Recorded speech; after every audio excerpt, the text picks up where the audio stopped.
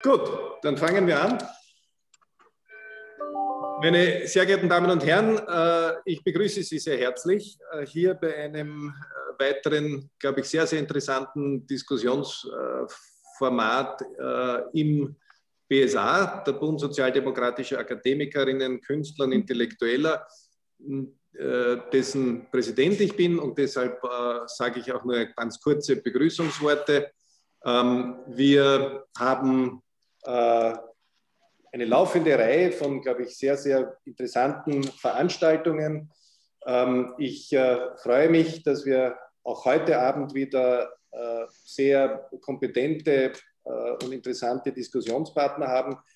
Ähm, ich erwähne das nur deshalb, weil ich glaube, dass es gerade in Zeiten wie diesen besonders wichtig ist, Plattformen zu haben, wo man sich austauschen kann, Meinungen austauschen kann äh, ja, wir sind eine sozialdemokratische Vorfeldorganisation und auch deshalb ist es mir besonders wichtig, äh, diese äh, Möglichkeiten zu verstärken. Es ist gerade auch innerhalb der Sozialdemokratie, jedenfalls in Österreich, glaube ich, besonders notwendig, noch mehr zu denken, Dinge anzudenken, zu formulieren und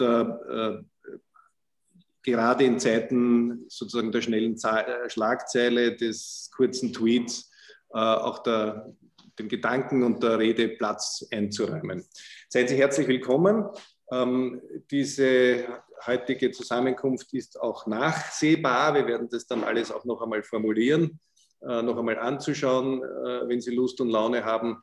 Aber Sie können auch jetzt, wenn Sie dabei sind, auch teilnehmen, weil das ja auch ganz wichtig ist. Das will ich gesagt haben. Ich freue mich sehr. Ich bedanke mich bei allen Teilnehmerinnen, äh, dass sie sich Zeit nehmen. Und äh, das Thema ist ein höchst aktuelles. Ähm, und ich bin überzeugt, dass wir interessante neue Einsichten heute bekommen. Herzlichen Dank und ich übergebe an den Matthias Wawra, der durch diesen Abend führen wird. Danke vielmals. Ja, vielen herzlichen Dank, Andreas, für deine äh, Begrüßung. Und äh, ich darf äh, zu unserem heutigen Thema digitaler Humanismus äh, wir werden uns mit verschiedenen Aspekten interdisziplinär äh, befassen, welcher Ethik es für das digitale Zeitalter bedarf, wie eine Utopie für diese digitale Gesellschaft aussehen könnte, mit sehr spannenden Gästen äh, widmen. Die darf ich ganz kurz auch vorstellen. Ich beginne mit unseren beiden Gästen, die uns aus äh, München zugeschaltet sind. Das sind äh, die beiden Co-Autoren dieses äh, Buches Digitaler Humanismus.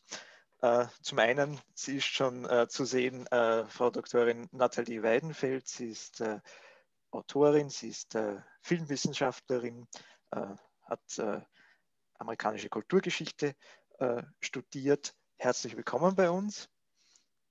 Gleichsam darf ich begrüßen, selben Account, jetzt können wir das auch verraten, es ist Ihr Ehemann, Dr. Julian, Professor Dr. Julian Nieder-Rümmelin. Er ist Philosoph, er ist Co-Autor dieses Buches, emeritierter Professor an der Ludwig-Maximilians-Universität in München und äh, war äh, Kulturstaatssekretär, äh, äh, Kulturstaatsminister pardon, der deutschen Bundesregierung und zwar unter Rot-Grün im Kabinett äh, von Gerhard Schröder. Und wir haben gleichsam zwei Gäste in Wien. Einerseits Professor Dr. Helga Nowotny. Sie ist äh, emeritierte Professorin der ETH Zürich, Soziologin und selbstverständlich äh, vielen von uns auch bekannt durch ihre, durch ihre Tätigkeit äh, für das äh, European Research Center, Mitbegründerin, äh, dessen Vorsitzende. Herzlich willkommen. Und wir begrüßen äh, Hannes Wertner, Professor Diplomingenieur Dr. Hannes Wertner. Er ist Informatiker emeritierter Professor der Technischen Universität Wien und äh, genauso wie Helga Nowotny einer der Initiatoren und Unterzeichner des Wiener Manifests äh, für digitalen Humanismus. Herzlich willkommen in unserer Runde. So, und damit möchte ich gleich beginnen, nachdem ja schon betont wurde, dass wir da eine sehr interdisziplinäre Zusammensetzung haben. Und da möchte ich gleich äh, beginnen, bevor wir dann verschiedene Fragestellungen gemeinsam vertiefen Nämlich, da möchte ich unsere Gäste äh, um ihre persönliche, und das ist ja, wie sich im Vorfeld gezeigt hat, eine sehr unterschiedliche Sichtweise auf den digitalen Humanismus. Und da möchte ich als Einleitungsfrage Sie um Ihre äh, Ausführungen bitten, was für Sie äh, digitaler Humanismus, dieses Zusammenspiel zwischen Mensch und Technik äh, bedeutet. Darf mit unseren beiden Gästen aus Deutschland beginnen. Frau Weidenfeld, bitte, wenn Sie anfangen möchten. Also um diese Frage zu beantworten, möchte ich erstmal ähm, den Blick auf ähm, kulturwissenschaftliche Aspekte richten. Und zwar ähm, insbesondere die Frage stellen, welche Probleme es gibt mit der Darstellung von künstlicher Intelligenz und Digitalisierung in der Populärkultur. Und ich denke, da können wir ganz spezifische Probleme ausmachen, ähm, bei denen es auch wichtig ist, dass wir sie ausmachen, äh, um sich dessen äh, bewusst zu werden, weil das hat gewisse Auswirkungen. Ähm, ich beginne mit der ersten. Ich nenne das die primitivistischen Projektionen als äh, Problem Nummer eins. Es ist nämlich tatsächlich so, wenn wir uns, äh, Sie haben es ja eingangs erwähnt, ich bin Filmwissenschaftlerin, daher schaue ich natürlich gerne und oft auf Filme. Wenn man sich die Darstellung von künstlicher Intelligenz in Filmen ansieht, natürlich insbesondere die der letzten 20 Jahre, wo dieser Topper ist natürlich besonders prominent in den Blockbuster-Filmen aus Hollywood vorhanden ist. Aber man kann auch ruhig zurückgehen, 100 Jahre zuvor. Mit Beginn äh, des Films haben wir eigentlich auch schon gleich die ersten Roboter. Dann stellt man fest, dass äh, es immer wieder die gleichen Stereotypen sind, mit denen wir hier filmisch konfrontiert werden. Auf der einen Seite der gute, moralisch edle Roboter, der an den Topos des edlen Wilden erinnert und auf der anderen Seite der dämonische, böse Roboter. Man denke etwa an Hell aus Stanley Kubricks 2001 oder Ava, die femme fatale aus Ex Machina. Nun, dieses System dieses, ähm, des Bösen und des Guten kann man recht gut ähm, mit dem Primitivismus erklären. Was ist der Primitivismus? Nun, man könnte es eine Art westlichen Reflex nennen, der westlichen Kultur, sich immer ein Gegenüber zu schaffen, auf das besonders verehrte, geliebte, aber auch verhasste Eigenschaften, eigene Eigenschaften projiziert werden. Man hat also einen, Spiegel, genau gesagt, einen Zerrspiegel, an dem man sich abarbeitet. Zur, ähm, in der Zeit der Antike waren das die Barbaren, in der Renaissance waren es die Indianer. Und jetzt haben wir den Topos ähm, des Roboters, der genau diese kulturelle Funktion erfüllt. Und hier ist es eben wichtig, genau hinzusehen. Wenn wir Hell haben, dann ist das keine realistische Vorher Vorschau, wie denn ein Roboter sein wird. Nein, es ist eine Metapher für ein menschliches, utilitaristisches Denken, äh, das in die Katastrophe führt. Und hier ist es wichtig, richtig zu lesen, diese Fiktion als Metaphern für Menschen. Problem Nummer zwei, Digitalisierung, äh, wie sie uns ähm, nicht nur in Filmen, aber auch in den Bildern, die wir etwa von den CEOs aus Silicon Valley präsentiert bekommen, die mit millenarischen Erlösungsfantasien mit äh, aufgeladen werden. Beispielsweise dieser der Himmel, den sie immer, den sie oft finden werden, wenn es um äh, äh, Werbung geht, etwa für Digitalisierung. Also was hier mitschwingt, ist, dass Digitalisierung das Paradies ermöglicht oder sogar das Paradies ist. Ein Paradies der Transparenz, der Eindeutigkeit, der Allverbundenheit und auch eine Art äh, ewigen Reproduzierbarkeit einer künstlich hergestellten Ewigkeit. Ähm, interessant ist in diesem Zusammenhang natürlich auch, äh, das darf man nicht vergessen, dass äh, Technologien schon immer mit äh, Erlösungsfantasien oder gerne mit äh, Erlösungsfantasien aufgeladen wurden. Es gibt ja wirklich diese unglaublichen Zitate von Henry Ford, wie er über den Kraftwagen, das Automobil spricht und dabei ähm, tatsächlich davon spricht, dass das Automobil das, ich zitiere, Paradies auf Erden bringen wird. Eine neue Denk- und Handelsart, die uns eine neue Welt bescheren wird, einen neuen Himmel, eine neue Erde, wie sie Propheten seit urdenklichen Zeiten ersehnt haben. 1902 spricht über die neue Chemie und spricht tatsächlich vom goldenen Zeitalter. Also diese Rhetorik schwimmt, äh, äh, ist tatsächlich in diesen Bildern vorhanden. Äh, ein anderes Bild, das wir immer wieder sehen, das kennen Sie bestimmt, sind diese, diese Evolutionsgeschichten. Man hat also hier den Affen, dann der Homo erectus, dann der, der äh, Homo sapiens und dann am Ende der Kette steht also der der Homo Digitalis mit einem iPhone in der Hand. Das ist ein sehr beliebtes Bild. Was also hier mitschwingt, ist natürlich zweierlei. Einmal der Homo Digitalis, die Digitalisierung als Telos. Und andererseits ist natürlich auch implizit, das ist der natürliche Gang der Dinge. So ist die Evolution. Das ist uns sozusagen vorherbestimmt. Ähm, und zuletzt ein drittes Problem, was möglicherweise war das, äh, das Wichtigste ist, die regressiven Fantasien, die mit Digitalisierung und äh, künstlicher Intelligenz zusammenhängen.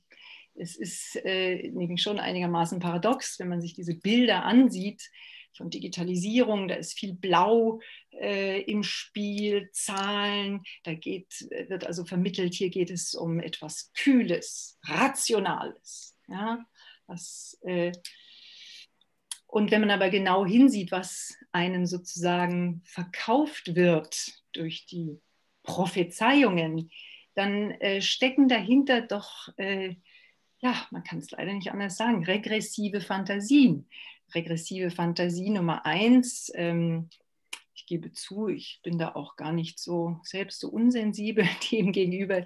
Die Idee der äh, digitalen äh, Haushaltsroboter, Haushaltssklaven, finde ich gar nicht so schlecht. Aber wenn man sich diese Bilder auch ansieht, äh, die man immer wieder bekommt, dann ist es doch diese Idee der, der digitalen Super-Nannies, die, ähm, ja, die uns mit allem beglücken, das man so braucht. Das ist sozusagen eine digitale Version von Bruegels Schlaraffenland. Eine etwas dystopische Version findet man in dem Film Wally, falls äh, den jemand in der Runde kennt, in dem eine Gesellschaft imaginiert wird, in der die Menschen also nur noch in ja, Sesseln herumgekarrt werden, bedient werden, gefüttert werden von digitalen Supernannies und auf das Stadium von Riesenbabys äh, regrediert sind. Äh, natürlich sind auch die transhumanistischen Fantasien äh, nichts anderes als ein regressiver Wunsch, ein verständlicher Wunsch, aber ein regressiver Wunsch nach Unverwundbarkeit, nach Unsterblichkeit, ähm, Freud hat das sehr deutlich gemacht. Das ist ein Wunsch, äh, den Präödipale in einer präödipalen Phase, besonders Jungs, meint er, äh, dazu sage ich jetzt nichts, die sich also gerne in diesen Fantasien hingeben. Und zuletzt die Fantasie, die unter anderem auch äh, Professor Kathleen Richardson untersucht hat, eine Ethnologin, die äh, an der MIT geforscht hat, äh, die Fantasie, dass diese Roboter, die wir da schaffen, ein Partnerersatz sein werden. Perfekte Freunde, perfekte Partner, Liebespartner möglicherweise. Und hier ist natürlich etwas am Werk, das Freud ähm, mit Animismus beschrieben hat. Ich denke, wir können mit dem Begriff hier gut operieren. Animismus, wie Freud es beschreibt, als eine Geisteshaltung, die vor allem, wie er sagt, bei Primitiven und bei Kindern zu finden ist, die etwas vorwissenschaftlich und vorreligiöses sogar ähm, äh, zu beschreiben ist. Und ähm, wenn wir also diese Hoffnung haben, dass äh, Roboter unsere idealen äh, Partner sein werden, dann projizieren wir natürlich Gefühle und eine Seele in etwas, das leblos ist, das keine Seele hat. Dafür, danach wird es nachher noch äh, philosophische Betrachtung geben, aber ich möchte ähm, ja an dieser Stelle äh, damit enden. Ich habe eben am Anfang äh, gewarnt vor einem unpassenden Import der Fiktionen in die Realität, beziehungsweise von einem falschen Lesen. Und äh, möchte an dieser Stelle Augenzwinkern doch äh, auf äh, den, äh, die Erzählung Der Sandmann verweisen von E.T.A. Hoffmann, in dem sich ein junger Student in eine mechanische Puppe verliebt. Und ähm, man kann das vielleicht dann doch als Warnung nehmen, denn was geschieht am Ende der Erzählung? Nun, der junge Student stürzt erstens in den Wahnsinn und dann in den Tod. Das könnte uns vielleicht eine Warnung sein. Okay, vielen Dank. Ja, das sind einmal interessante äh, Einblicke, wie dieser Digitalisierungsdiskurs abläuft. Ich glaube, auf Aspekte wie unrealistische Hoffnungen oder Ängste in Bezug auf Maschinen können wir noch eingehen. Äh, Herr Niederrömmelin, nachdem Sie jetzt schon Platz getauscht haben, äh, wie sieht aus Ihrer Sicht diese Rationalisierung fliegenden Wechsel von der Kulturwissenschaft äh, in die Philosophie. Ähm, wir wollen ja relativ knapp sein, deswegen äh, fasse ich das Wichtigste zusammen, spitze auch ein bisschen zu, damit wir einen Diskussionsstoff haben. Ja. Also der ähm, Grundgedanke des digitalen Humanismus ist ähm, etwas, was für die menschliche Spezies etwas Besonderes, etwas Spezifisches ist, ähm, nämlich, dass wir sind die Autorinnen oder Autoren unseres Lebens sind. Das ist im Grunde der Kerngedanke des Humanismus, der übrigens in die sozialdemokratische Programmatik eingewirkt hat, relativ massiv, weil man macht sich dann Gedanken, was müssen denn, wie müssen denn die Bedingungen gestaltet sein, dass Menschen tatsächlich Autorinnen oder Autoren ihres eigenen Lebens sein können. Und im 19. Jahrhundert der Bildungssozialismus, ja, der dann da auch im Zusammenhang mit dem Neukantianismus aufkommt, ähm, ist da ganz wesentlich. Es müssen eben die bildungsmäßigen Voraussetzungen und dann die sozialstaatlichen Voraussetzungen gegeben sein. Und ähm, was wir jetzt gegenwärtig erleben und was die polemische Ausrichtung des digitalen Humanismus angeht, ist ein doppelter Angriff auf diese Form von Humanismus. Äh, der erste Angriff hat die Form der Maschinisierung des Menschen. Der Mensch ist doch auch nichts anderes als ein Algorithmus oder ein Softwaresystem, was so ähnlich funktioniert, wie wir das kennen von unseren Computern. Und die andere Form, die mit der ersten äh, merkwürdig sich überlappt, ist die, ähm, ja, die animistische Interpretation von Maschinen. Ja, Maschinen, wenn sie denn sich in einer ähnlichen Weise verhalten, äh, wie das Menschen tun, dann schreiben wir ihnen, das ist ja eine alte These von Turing von 1950 in Mind publiziert, dann auch die entsprechenden Eigenschaften zu, die Menschen haben, die dieses Verhalten zeigen. Ja? Das ist also eine doppelte Auflösung des humanistischen Grundgedankens, dass Menschen bei aller Verwandtschaft, zum Beispiel mit hochentwickelten Säugetieren, doch diese Besonderheit haben, nämlich verantwortlich zu sein für das, was sie tun, Autorinnen oder Autoren ihres eigenen Lebens zu sein. Also Animismus einerseits, Mechanismus andererseits. Und das ist jetzt nicht nur irgendeine ja, kulturtheoretische Betrachtung, sondern das ist von allergrößter Bedeutung für die Technologieentwicklung selbst. Äh, Leibniz hat einen der ersten halbwegs funktionierenden äh, Rechner konstruiert ja, für arithmetische Rechenoperationen.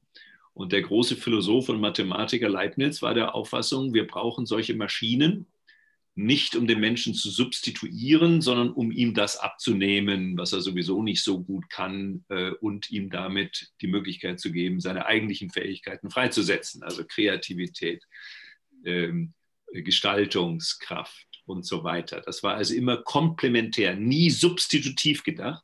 Wir haben gegenwärtig eine Technologieentwicklung, die ähm, zumindest teilweise äh, auf Substitution abstellt das ist besonders interessant im Bereich der Robotik, also der Versuch, möglichst weitgehend menschliche Fähigkeiten zu imitieren. Da sagt man, wofür eigentlich? Das haben wir selber. Die brauchen wir vielleicht für bestimmte Zwecke, aber das ist eher die Ausnahme. Ich habe ein Forschungsprojekt geleitet zur Frage Ethik der Robotik und da besonders Pflegeroboter.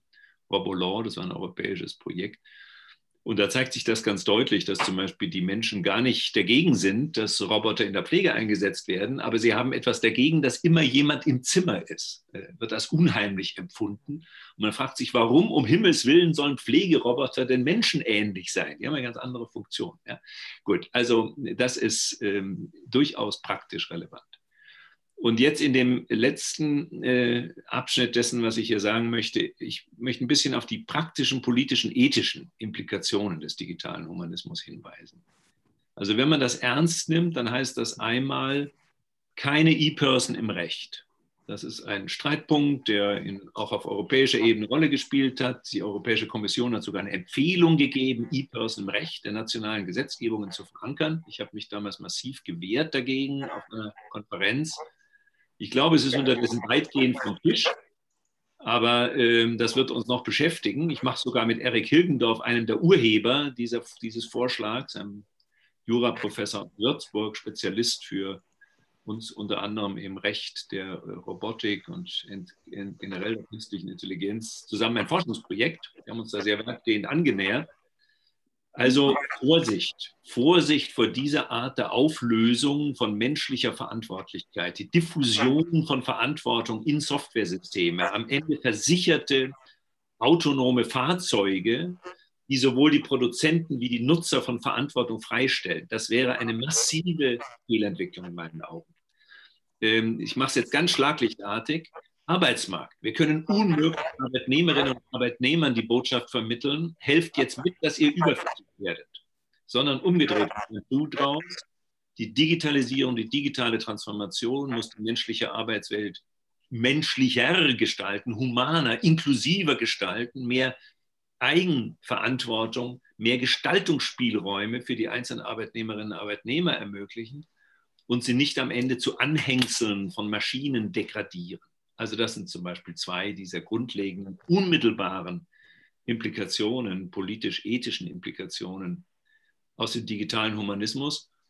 Und ich freue mich sehr, also wir haben das, also ich habe so angefangen, da über digitalen Humanismus Vorträge zu halten. 2016, 2017 haben wir dann das Buch verfasst, 2018 ist es erschienen, 2019 in italienischer Übersetzung, 2020 in koreanischer.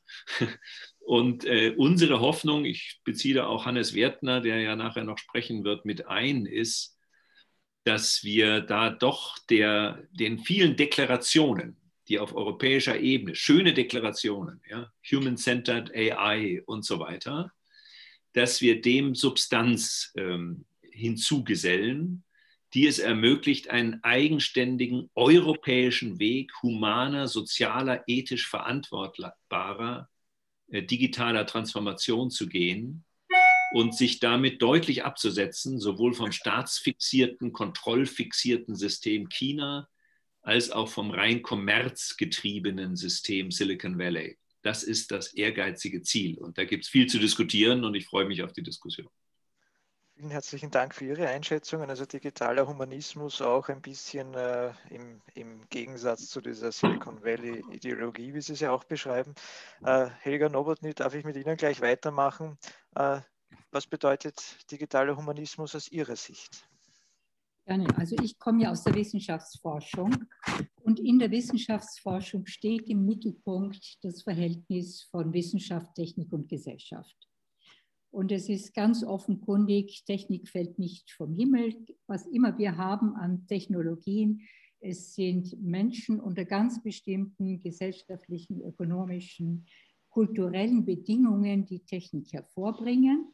Und insofern ist eine der Grundsätze auch der Wissenschaftsforschung, dass auf Technik eingewirkt werden kann, dass Technik gestaltbar und nun gab es in der, auch in der, in der Geschichte, die wir ja noch erlebt haben äh, in den Folgen, gab es immer wieder diese großen Paradigmenwechsel. Also wenn Sie denken, Industrialisierung, Elektrifizierung, die ganze Epoche der Moderne mit ihrer Geradlinigkeit, dem linearen Denken, das ja auch ein Merkmal der Moderne ist. Und diese Paradigmenwechsel haben dazu geführt, dass die Gesellschaft, die Wirtschaft, äh, aber auch der Bezug der Menschen zueinander ganz radikal umgestaltet wird. Und die Digitalisierung heute ist ein solcher weiterer Paradigmenwechsel. Und wir sehen die Auswirkungen, es wurde schon darauf hingewiesen, also äh, das beginnt dann auch mit äh, kulturellen Vorstellungen, die wir haben. Es geht natürlich ganz massiv hinein in den Arbeitsmarkt.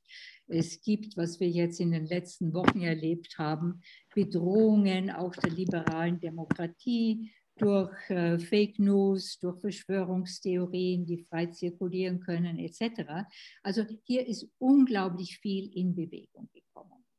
Nun kann man sagen, Technologien in der Vergangenheit haben drei Merkmale, weshalb sie sich meistens sehr erfolgreich durchgesetzt haben.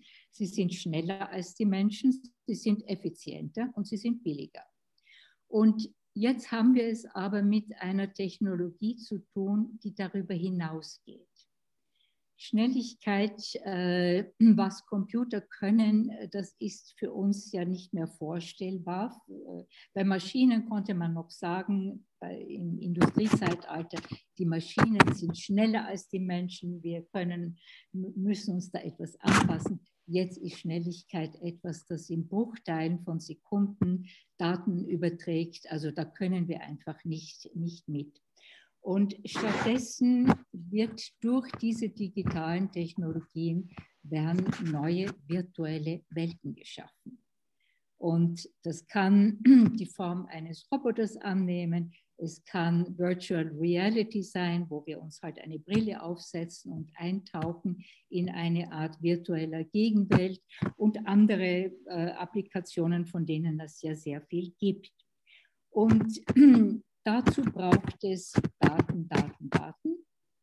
Und äh, wir haben auch, äh, was ein weiteres interessantes Merkmal aus meiner Sicht ist, ähm, sehr vorausschauende und voraussagende Algorithmen, die uns mitteilen, was wir demnächst kaufen werden, aufgrund der Extrapolation der Daten aus unserem vergangenen Kaufverhalten oder wohin wir auf Urlaub fahren, unsere Gesundheit, wird alles umgewandelt in Daten.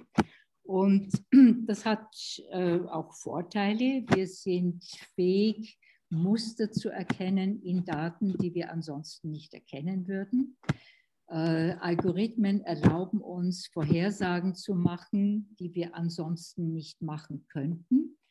Und äh, wir können dadurch auch Einblicke in komplexe Systeme bekommen, die wir ansonsten auch nicht haben würden. Aber all das führt dann letztendlich doch zur Frage, wie verhält es sich mit unserer Selbstdefinition auch als Mensch und menschlich? Wie viel färbt gewissermaßen ab von diesem Umgang, diesem ständigen Umgang, ausgesetzt sein, äh, anpassen, äh, kollaborieren ja auch mit den Technologien. Wir, unser Alltag ist ja äh, durchdrungen davon ähm, was tut das mit uns? Was tut das mit unseren sozialen Beziehungen und was tut es mit uns äh, in unserer Selbstdefinition als Mensch? Also das sind so einige Fragen, mit dem digitalen Humanismus zusammenhängen. Und äh, dafür kann es nicht eine Definition geben. Ich glaube, da sind wir uns alle einig. Abgesehen davon, dass das Wort Humanismus ähm, ideengeschichtlicher sehr unterschiedliche Vorstellungen auch hatte. Der Humanesimo im 14. Jahrhundert in Italien war was völlig anderes als der Humanismus äh, im 19. Jahrhundert äh, im, im, deutschen Idealismus. Also hier sind, äh, hier kommen sehr viele unterschiedliche Stränge zusammen. Aber äh, für mich sind so einige der Grundgedanken die, wenn wir, und das ist die Voraussetzung, wenn wir Technik gestalten können, wenn wir eingreifen können, wie machen wir das, um digitale Systeme, Algorithmen, ähm, die natürlich auch einen Bias haben und so weiter, so zu gestalten, dass sie einem normativen Bild, das wir haben, entsprechen. Also es ist auch dieser normative Gedanken, der da mitschwingt. Ein anderer Aspekt, der hereinkommt, ist natürlich der der Regulierung. Wir können uns nicht darauf verlassen, dass der Markt das alles richtig macht. Im Gegenteil, wir sehen, wie viel Machtkonzentration es in einigen wenigen ähm, internationalen Konzernen gibt. Und äh, es war ja auch bezeichnet, äh, bezeichnend, dass es Mark Zuckerberg war, der den Ex-Präsidenten Trump äh, aus der Twitter-Liste gestrichen hat, seinen Account gestrichen hat und nicht eine staatliche Instanz. Also hier verschieben sich die Gewichte in einer Art und Weise, die auch Fragen betreffen, die sich der digitale Humanismus äh, stellen könnte. Und dann, und das ist aus meiner Sicht vielleicht ähm, der wichtigste Aspekt, wenn wir von Humanismus sprechen, denken wir natürlich, der Mensch muss im Mittelpunkt stehen. Und das hat natürlich sehr viel, ähm, dass wir auch äh, bejahen, dass wir auch wollen.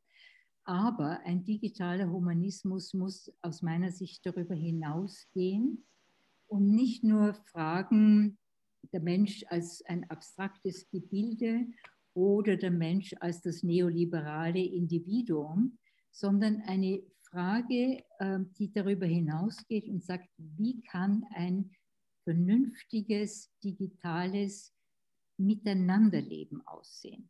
Also was ich möchte, ist, dass wir uns auch hinwenden zur Frage, wie kann eine digitale, eine gute digitale Gesellschaft aussehen? Und darauf hat natürlich niemand, also ich persönlich bin nicht äh, diejenige, die jetzt eine Utopie hier entwerfen möchte. Utopien haben ihren Platz, aber ich glaube, dass es harte Arbeit ist, dass wir Experimentierräume brauchen, dass wahrscheinlich ähm, die Ebene von Städten eine bessere Ebene ist, als wenn wir in Nationalstaaten denken um herauszufinden, wie kann so ein digitales Miteinander gestaltet werden. Und äh, man muss diese Dinge ausprobieren. Und es ist mehr als nur Smart City. Äh, das greift mir viel zu kurz. Das ist eben dieses Effizienzdenken und, und schneller, effizienter, billiger. Und der digitale Humanismus muss sich diesen Fragen stellen. Und ähm, ich bin da hineingerutscht. Das war ein wunderbares Workshop, das Hannes Wertner an der TU äh, damals organisiert hat. Ich bin da hineingerutscht und war begeistert auch von der Reichhaltigkeit und der Produktivität der Diskussionen, die sich da in diesem Workshop ergeben haben. Und ähm, insofern finde ich, ist ein, ein, ein guter Ansatzpunkt. Aber wir sind jetzt, glaube ich, an dem Punkt angelangt, wo man dann fragen muss, also wie, wo sind denn die Räume, wie kann man sowas ausprobieren? Und ähm, es gibt Überlegungen auch in Wien, der FEF, Michael Stampfer und andere äh, überlegen, äh, gemeinsam mit der Stadt Wien auch, wie kann man ähm, Initiativen voranbringen, einfach um Räume zu schaffen, wo man diesen Fragen nachgehen kann, unter einer Beteiligung all derer, die es braucht, um die Frage nach einem guten digitalen Miteinander auch nur, sich der nur halbwegs annähern zu können. Damit will ich es jetzt einmal bewenden lassen. Vielen Dank. Ja, es gibt ja, wie wir jetzt schon gehört haben, in den Kultur- und Geisteswissenschaften viele Stimmen, die sich für den digitalen Humanismus äh, einsetzen und stark machen, aber gleichsam gibt es natürlich diese Stimmen auch in, im Bereich Informatik, Computerwissenschaft. Hannes Wertner, äh, darf ich Sie um Ihre Einschätzungen äh, zum digitalen Humanismus bitten. Ja, danke zuerst einmal für die Einladung, da mit dem, bei der BSA diesen, diesen Vortrag zu machen. Äh, und nachdem schon sehr viel gesagt wurde von meinen Vorrednerinnen und Rednern, äh, möchte ich ein bisschen äh, die Sichtweise ein bisschen ändern. Für mich ist und auf zwei Ebenen. Einerseits digitaler Humanismus als eine materialisierte, bereits teilweise materialisierte Idee, das, was die Helga ausgeführt hat, ein bisschen aufgreifen und zweitens eine andere, eine leicht andere Sichtweise auf die Frage der Digitalisierung.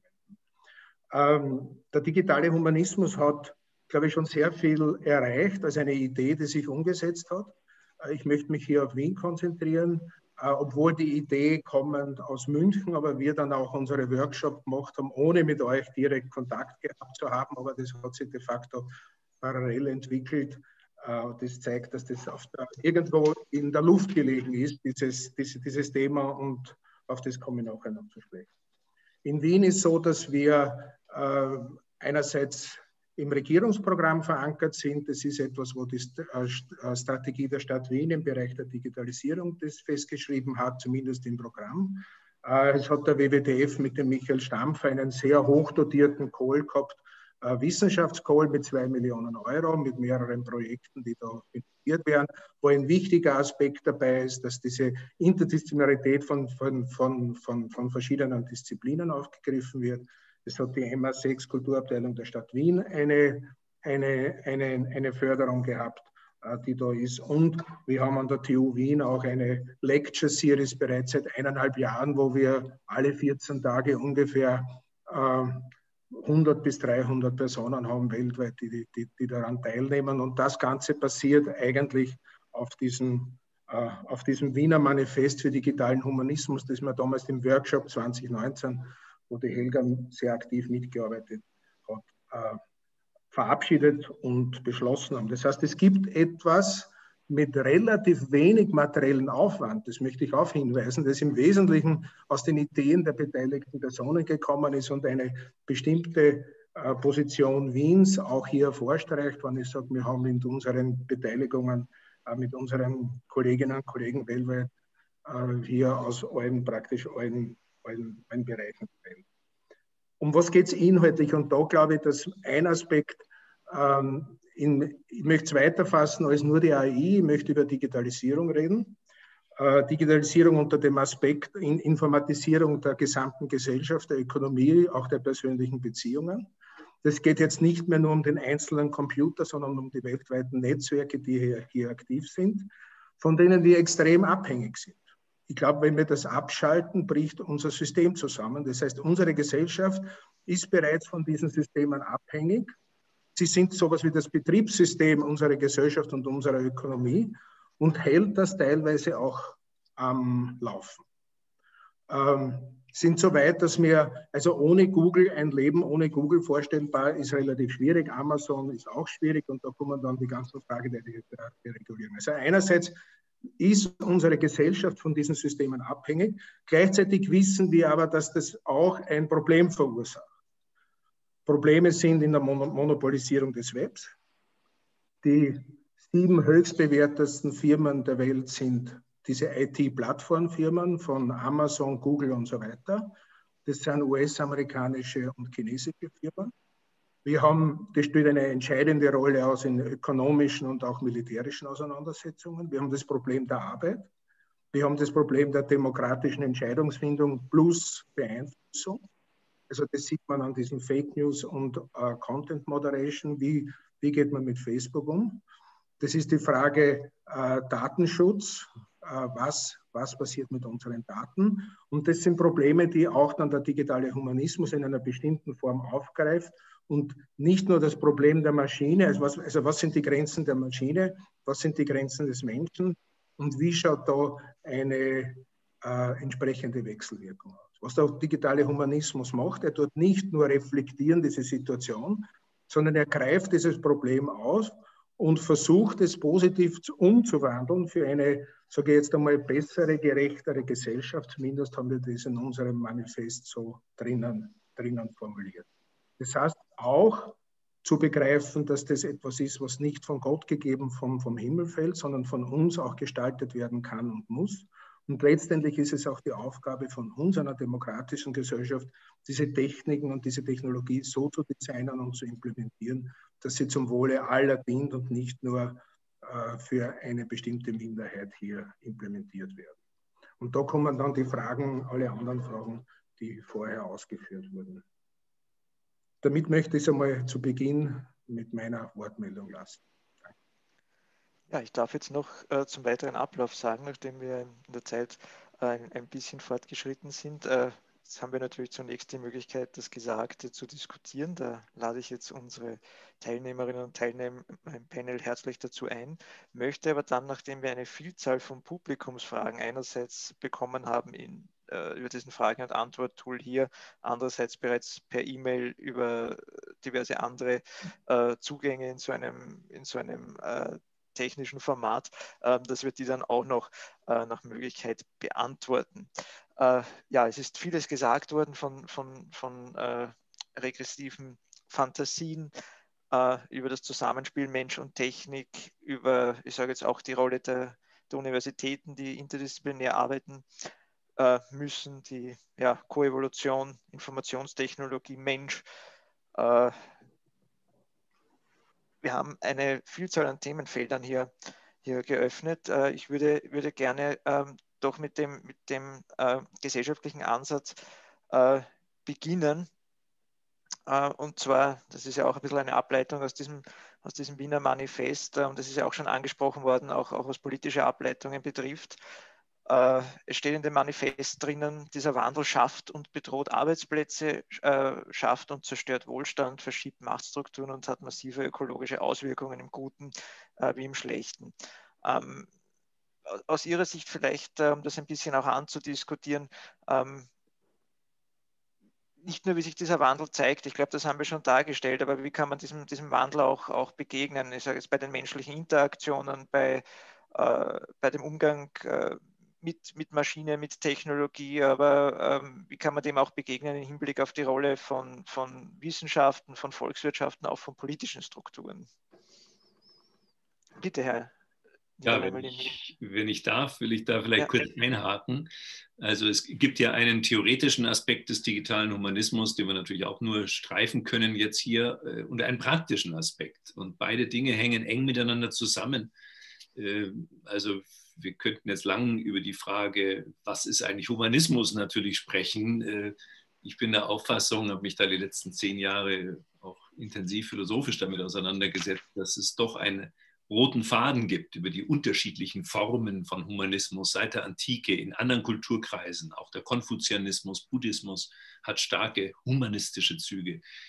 Äh, und die Idee eben einer genuin humanen Existenzform, ja, wo äh, gewissermaßen der Mensch sich in seinen Fähigkeiten entfalten kann, ohne rücksichtslos äh, Frau Nowotny hat das neoliberale Modell des rücksichtslosen Individuums angesprochen, eben nicht rücksichtslos, sondern kooperativ, empathisch und so weiter. Das ist schon der rote Faden. Und dazu gehört dann, das ist ein philosophisches Thema, die Fähigkeit, sich von Gründen affizieren zu lassen, zu reagieren auf Nachfragen und so weiter. Verantwortlichkeit, Freiheit sind im Grunde nur zwei Aspekte derselben Medaille. Und jetzt digitaler Humanismus ist dann gewissermaßen in meiner Perspektive die Herausforderung aus humanistischer Sicht durch die digitale Transformation und durch die digitalen Technologien und heißt jetzt, sind jetzt humanistische Werte und Normen obsolet oder im Gegenteil sind sie aktueller denn je zuvor? Und ich plädiere dafür zu sagen, sie sind aktueller als je zuvor. Und jetzt die praktische Dimension, vielleicht zwei ganz konkrete Beispiele. Also das eine Beispiel ist, wir haben eine Veränderung der Formen der Kommunikation und wie es im Manifest heißt, immer im Guten wie im Schlechten. Wir haben zum Beispiel die Zugänglichkeit zu Daten ist sehr viel erleichtert durch die digitalen Tools. Wir haben eine inklusivere Praxis, das ist die eine Seite. Aber die andere Seite ist, dass wir offenbar Abschließungstendenzen haben, die mit der algorithmengesteuerten Aufmerksamkeitsökonomie zusammenhängen. Gibt es auch schöne mathematische Analysen dazu und so, da können wir natürlich jetzt nicht im Einzelnen darauf eingehen. Und das stellt uns eine Frage in Europa, nämlich können wir wirklich zulassen, und das ist auch eine genuin sozialdemokratische Frage, können wir wirklich zulassen, dass die Infrastruktur der digitalen Kommunikation in Privatbesitz jedenfalls ganz überwiegend sich befindet? Ist das das richtige Modell? Und äh, das ist eine ganz konkrete Frage, die hängt auch mit dem, äh, ein bisschen mit den Erfahrungen öffentlich-rechtlicher Rundfunk. Österreich ist da einen Sonderweg gegangen, den ich sehr befürworte im Übrigen brauchen wir nicht in Europa ein Analogon dazu, nämlich eine digitale Kommunikationsinfrastruktur in öffentlich-rechtlicher Verantwortung? Kann es wirklich sein, dass das der kommerziellen Logik gehorcht und im Falle von Facebook und anderen Social Media ja demokratiegefährdende Züge angenommen hat? Frau Nowotny hat es angesprochen, ich habe gar kein gutes Gefühl dabei, dass Zuckerberg in dem Moment, wo der Präsident nicht mehr mächtig ist, den Präsidenten aus Twitter rausschmeißt. Es gab noch einen konkreten Anlass, schon klar. Hätte er vorher nie gemacht, ja, aus Opportunismus. Aber können wir das wirklich privaten Monopolisten überlassen, solche Entscheidungen zu treffen? Das geht in meinen Augen auf keinen Fall. Und die Datenschutzgrundverordnung der Europäischen Union hat diese Problematik der Plattformökonomie und auch der ganzen sozialen und ökonomischen Verwerfungen, die damit zusammenhängen, die Verwendung von Daten nach äh, sehr willkürlichen Vorstellungen, indem man eben die Leute lockt und sagt, diese Dienste könnt ihr kostenlos haben, aber die Daten müsst ihr uns zur Verfügung stellen. Wollen wir das einfach so weiterlaufen lassen, mit all seinen zum Teil verheerenden Nebenwirkungen? Also das ist ein Beispiel, was ich benennen will. Das andere Beispiel ist digitale Bildung. Da bin ich nun auch sehr konkret, auch persönlich involviert. Wir sind gerade dabei, eine Laborschule zu entwickeln und ähnliches. Also wenn Digitalisierung bedeutet, dass die Kinder nicht vier, sondern sieben Stunden lang vor Displays sitzen, dann ist was schiefgelaufen. Ja, das kann es nur wirklich nicht sein. Und die Ausstattung mit Endgeräten ist auch nicht wirklich das Problem. Das Problem ist Stärkung der Urteilskraft. Zurechtfinden durch Orientierungswissen und Reflexionsfähigkeit in einem Datenüberangebot. Das ist eigentlich die Herausforderung digitaler Bildung. Und da braucht man gelegentlich digitale Tools, klar, da muss man ja die Sachen vorführen und damit umgehen.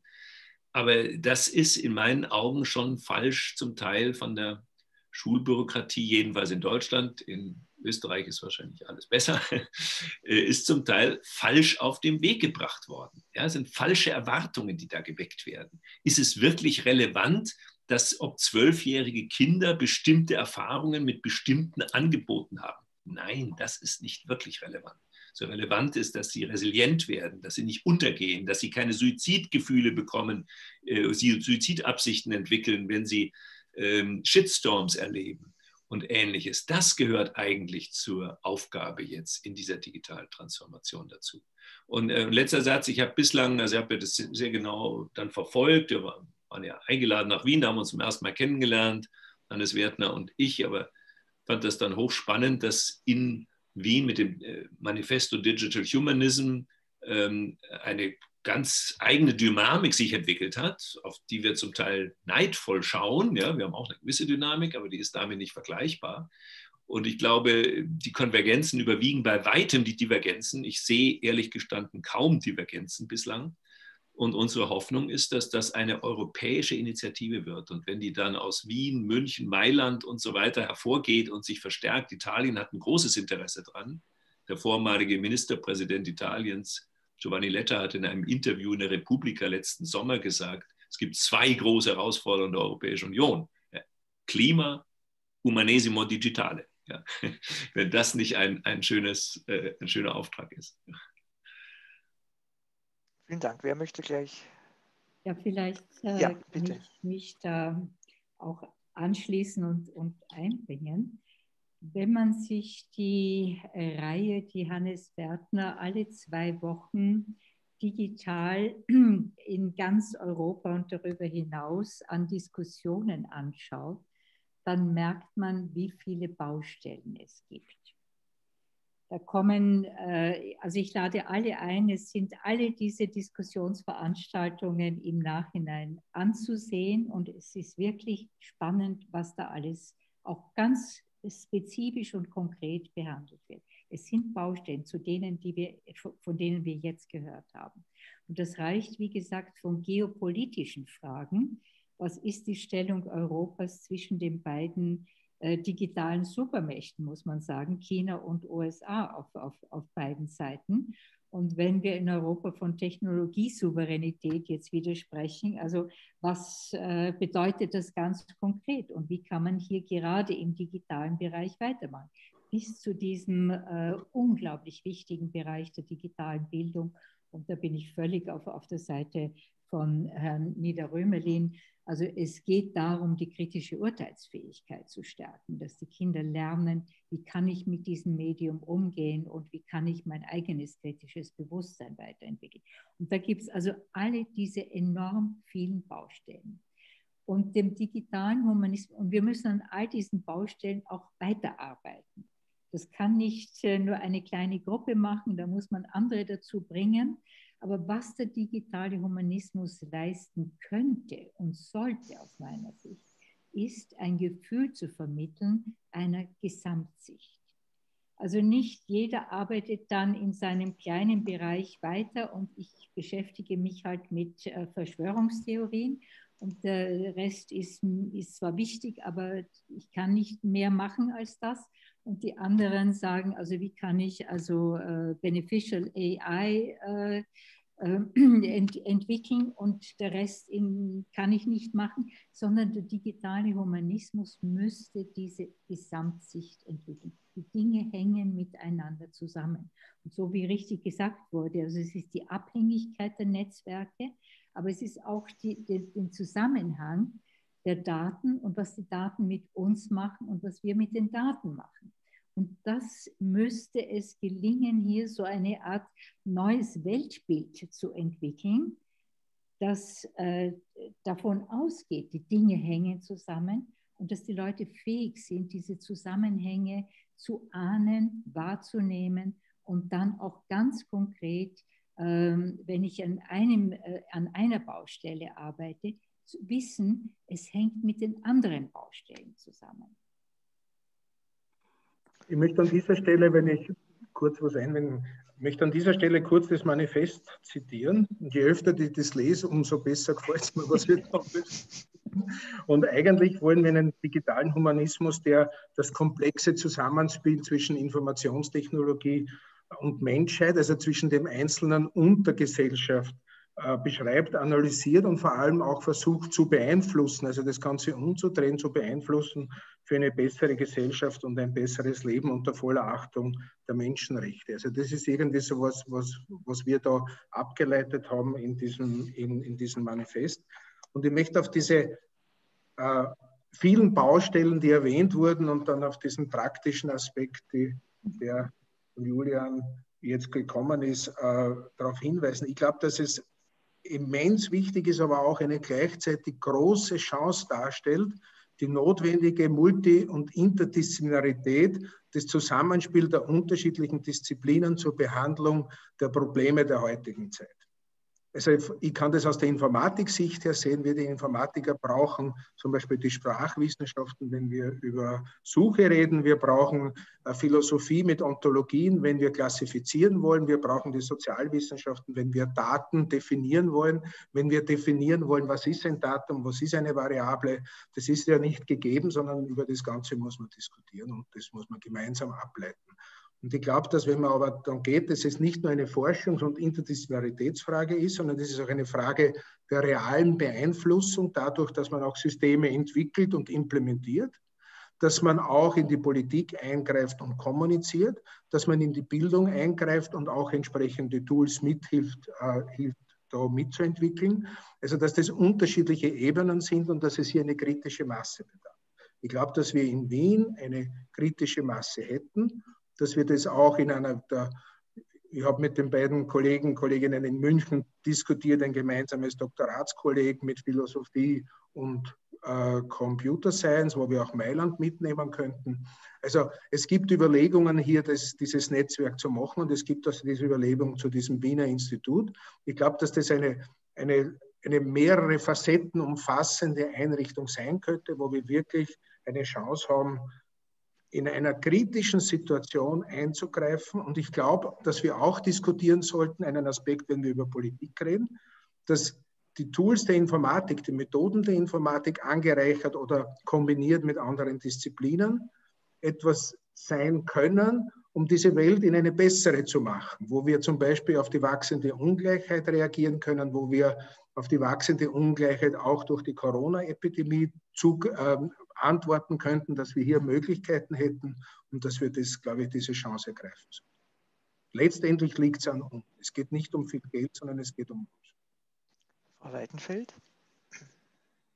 Äh, ja, ich kann das nur unterstreichen. Letztlich ähm, ist das auch der Sinn dieser Betrachtung, dieser, dieser ideologischen Überhöhung, die da in den Fiktionen der Populärkultur stattfindet und warum sie so gefährlich ist.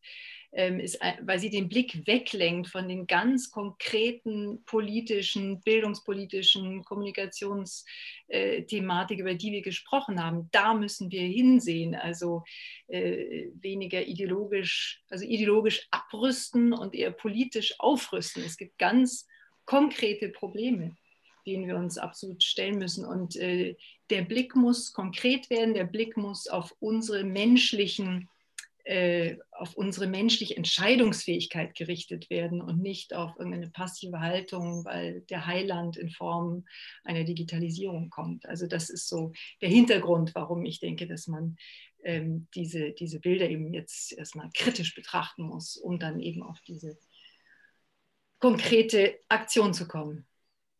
Okay, ich würde jetzt nur gerne, wir haben jetzt etwas mehr als eine Dreiviertelstunde diskutiert, aber nachdem wir so viele Publikumsfragen haben, würde ich die jetzt auch gerne in die Diskussion einwerfen. Äh, ich sage gleich dazu, es muss nicht jeder notwendigerweise auf jede Fragestellung eingehen, vielleicht insbesondere natürlich auf die, äh, wo sie auch persönlich angesprochen sind. Und ich würde sie, äh, würde sie jetzt einfach gerne der Reihe nach durchgehen. Und zwar beginnt. Ähm, das Element Wissen ähm, ist bis jetzt noch nicht genannt worden. Äh, besitzen die unter Anführungszeichen Guten die Kompetenz, äh, die bei den Monopolen wie Google und äh, Amazon vorhanden ist? Wer möchte äh, das beantworten? Wer, wer, wer, wer sind die Guten? Also nur so. als eine Verständnisfrage. Das ist eine gute Frage. Das kann ich jetzt insofern schwer beantworten, weil es äh, als Publikumsfrage in dem Chat gekommen ist. Aber ich nehme an, die Guten ähm, äh, werden wohl die sein, die äh, Anführungszeichen für das humanistische Denken stehen. Ähm, äh, ich, ich, glaube, Herr Niederrömelin, Sie haben sich gemeldet noch. Zu versuchen, das in Kürze äh, ein bisschen ja. was der Fragestellung zu beantworten. Also das Merkwürdige ist ja, wir reden viel von der Wissensgesellschaft. Und äh, wer ein bisschen mal über den Wissensbegriff nachgedacht hat, äh, der kann da eigentlich nur den Kopf schütteln, weil äh, ich meine, bei Platon heißt es im Theater, Dialog, Wissen ist begründete und zugleich wahre Meinung. Und in der Endphase dieses Dialogs heißt es dann, naja, wir können damit noch nicht zufrieden sein. Und seit Anfang der 60er Jahre weiß man, dass man damit allein noch nicht zufrieden sein kann. Da fehlt noch was. Können wir jetzt nicht im Einzelnen diskutieren. Aber jedenfalls bloße Datenkenntnis ist noch kein Wissen. Wissen entsteht durch die Einbettung von Einzelinformationen in größere Zusammenhänge. Erklärbarkeit, ja, äh, explainable AI ist ja auch interessanterweise ein großes Thema geworden. Ja? Wir wollen wissen, was hier vor sich geht. Wir wollen die Dinge einbetten können in ein in sich kohärentes Weltbild. Und da gibt es nicht die einen, die wissen und die anderen, die lernen, sondern wir wollen ja als Gesellschaft herausfinden, was ist gut für uns und da hat Wissenschaft eine Bringschuld. Sie muss sich beteiligen, sie muss versuchen, Klarheit dort zu schaffen, wo es geht, zum Beispiel was Empirie angeht, was Kriterien angeht und Begriffe angeht. Aber die Auseinandersetzung darüber, was ist für eine Gesellschaft gut, ist nur in der Gesamtgesellschaft möglich. Und dieses, ja, es hängt ein bisschen mit John Dewey zusammen, was ich jetzt hier erzähle, ja, aber es ist die Idee, Demokratie ist eigentlich das Unternehmen. Wir reden miteinander und versuchen gemeinsam akzeptable Ziele zu formulieren, die wir dann gemeinsam kooperativ verfolgen. Und äh, können wir es uns nicht leisten, uns in lauter Stämme zu zerlegen, die sich untereinander bekriegen. Vielleicht erlauben Sie mir noch eine etwas saloppe Bemerkung nach die Frage ja nach den Guten, was die da machen. Man könnte was, was polemisch machen. Die Guten bei Google und Amazon steigen aus. Und äh, vielleicht kennen Sie den äh, Dokumentarfilm über Social Media, in dem eine der Guten, äh, ich glaube bei Google oder so, ausgestiegen ist und sich sehr, sehr kritisch äh, äußert darüber und äh, dieses Humane Center for Technology ins Leben gerufen hat. Aber bisschen äh, eine gute Ergänzung. Ich habe die, Frage, äh, ich habe die Frage auch, äh, kann, kann nur raten, was der Fragesteller oder Fragestellerin gemeint hat. Aber ein Aspekt, ähm, möchte ich, einen Aspekt möchte ich hier einbringen, weil Google genannt wurde. Die Forschungslabors in diesen großen Konzernen sind fähig, die besten Absolventen und Absolventinnen mit enormen Gehältern anzuziehen. Und äh, ich weiß, dass Kollegen an den öffentlichen Universitäten, etwa in Kalifornien, das enorme Problem haben, dass sie ihre jungen Leute an den Universitäten nicht mehr halten können. Das heißt also, die ganze Ausbildung der nächsten Generation kommt ins Wanken, weil die sofort äh, Anstellungen bekommen und für den akademischen Lehrbetrieb auch nicht mehr verfügbar sind.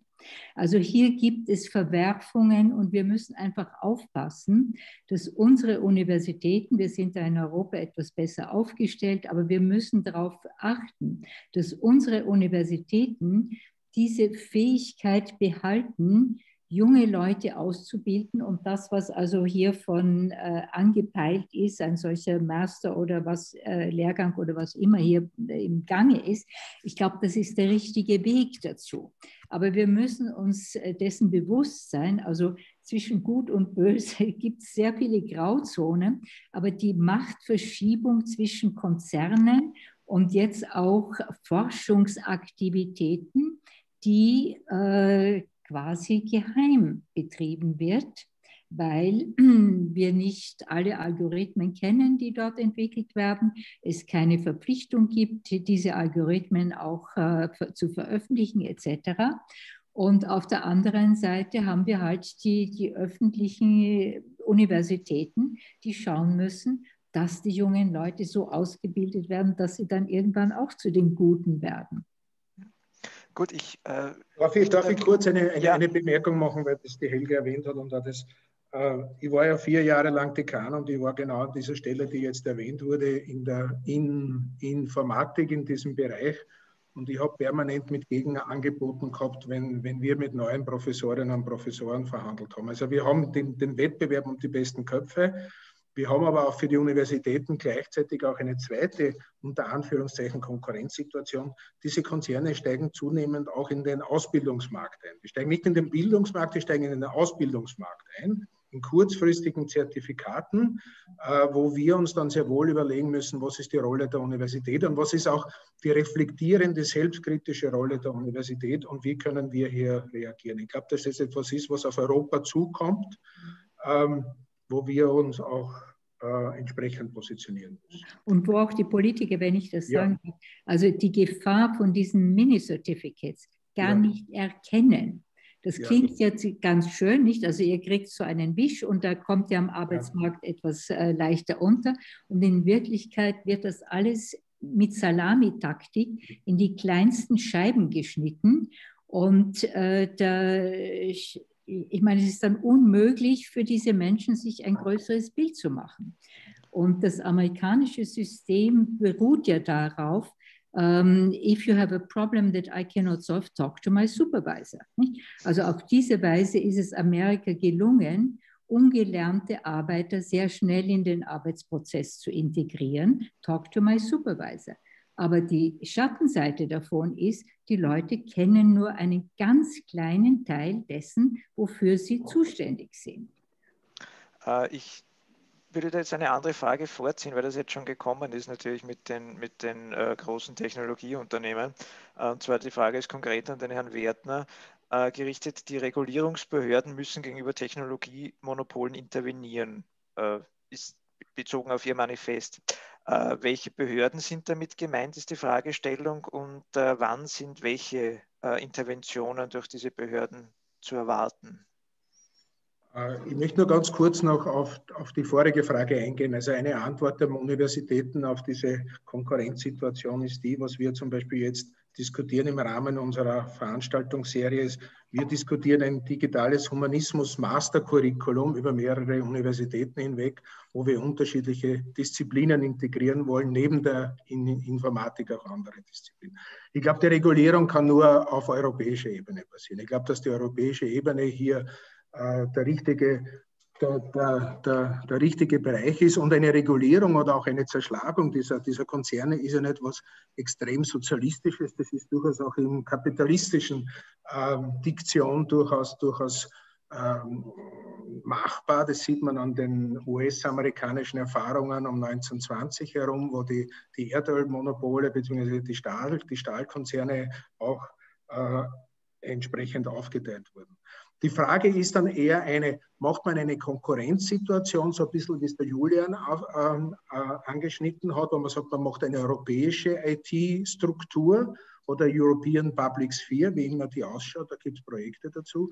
Oder setzt man darauf, dass man sagt, diese großen IT-Plattformen sind bereits unter Anführungszeichen fast sowas wie ein öffentliches Gut. Dann, weil die so allmächtig und so allumfassend sind, dass sie ein öffentliches Gut sind, dann muss man sich überlegen, wie man mit dem Ganzen umgeht. Dann ist das eine andere Frage. Das ist aber dann eine taktisch äh, operationale Frage. Mache ich eine, ein, ein Gegensystem oder schaue ich, wie dann diese existierenden Systeme entsprechend äh, auf, aufsplitten und auch öffentlich verwenden kann. Okay, dann haben wir, haben wir drei Fragen, ähm, die sich mit einem Komplex äh, befassen, den, den Julian Niederrümelin schon angesprochen hat. Äh, ich fasse jetzt die drei, die drei Fragen zusammen, dass sie in eine durchaus ähnliche Richtung gehen. Die erste ist, äh, welche Ideen und Schritte sind notwendig, um Ungleichheit auch digital zu bekämpfen? Wie kann man eine gerechte Verteilung technologischer Ressourcen forcieren? Äh, ein weiterer Aspekt wäre dann, äh, welche Haltung nimmt der digitale Humanismus im Verhältnis zum Gemeinwohl und den staatlichen Aufgabenstellungen ein? Und äh, die dritte, die auch in die sehr ähnliche Richtung geht, ist dann, welche Antworten gibt der digitale Humanismus auf gesellschaftliche Probleme wie etwa Monopolisierung oder die vom Herrn Niederrömerlin schon angesprochene Aushöhlung der Rechte von Arbeitnehmerinnen und Arbeitnehmern?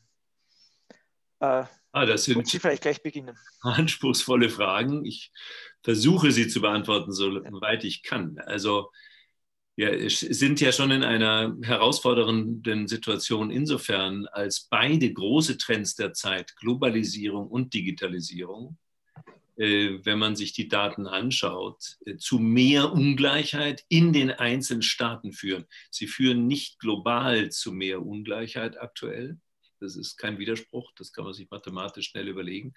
Aber in den einzelnen Staaten führen sie zu mehr Ungleichheit. Und das betrifft ganz besonders die entwickelten Wohlfahrtsstaaten, die, sagen wir mal, Ende der 70er Jahre ein, ein, doch ein gewisses Niveau erreicht hatten, diese Ungleichheitstendenzen des Marktes äh, einzudämmen. Und das ist seitdem zunehmend verloren gegangen, zunächst einmal durch Globalisierung und dann durch Digitalisierung. Ich meine, allein schon die Tatsache, dass durch Digitalisierung, durch das World Wide Web Dienstleistungen global angeboten werden können. Also zum Beispiel Bürodienstleistungen kann man sich in Bangladesch erledigen lassen und so weiter.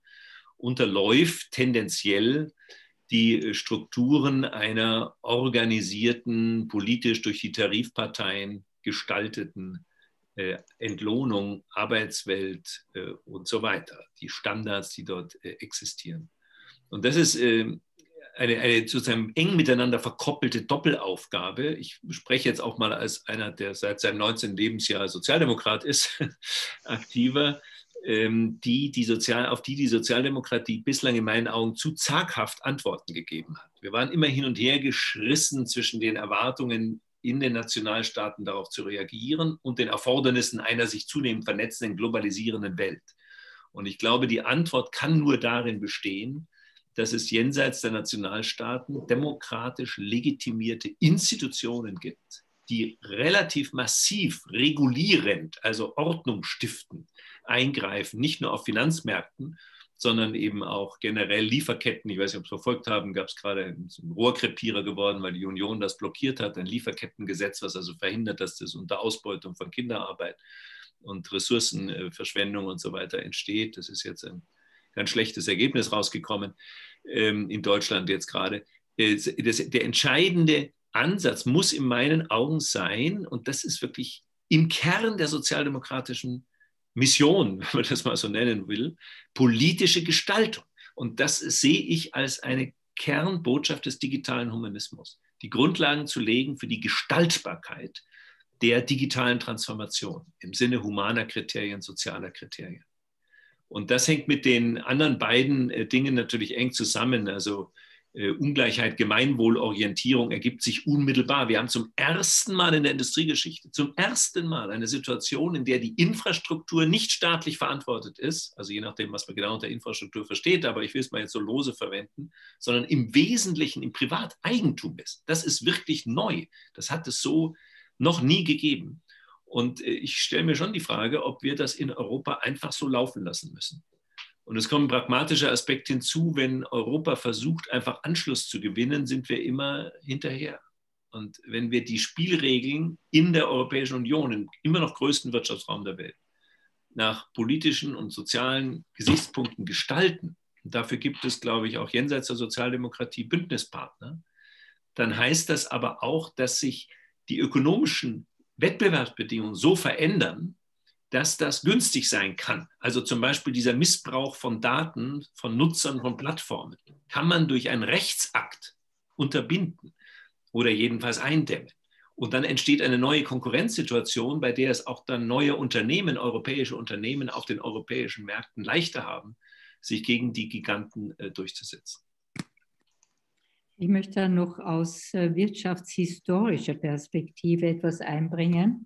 Es gibt eine Wirtschaftshistorikerin, Carlotta Perez, die sehr genau sich angesehen hat, wie war das früher in Bezug auf die Ungleichheiten, die entstanden sind durch diese Paradigmenwechsel, von denen ich gesprochen habe.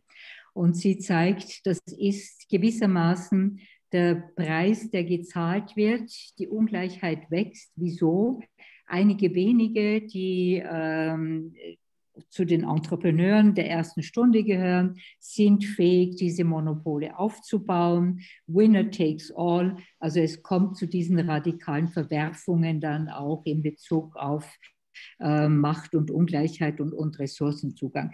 Und sie sagt historisch, also besonders am Beispiel der USA äh, kann man das aufzeigen, muss dann, wenn die Politik nicht eingreift und diese Machtkonzentration ganz bewusst aufbricht, bleibt die Ungleichheit und wird noch stärker. Und dazu braucht die Politik den Mut und den Willen, das umzusetzen.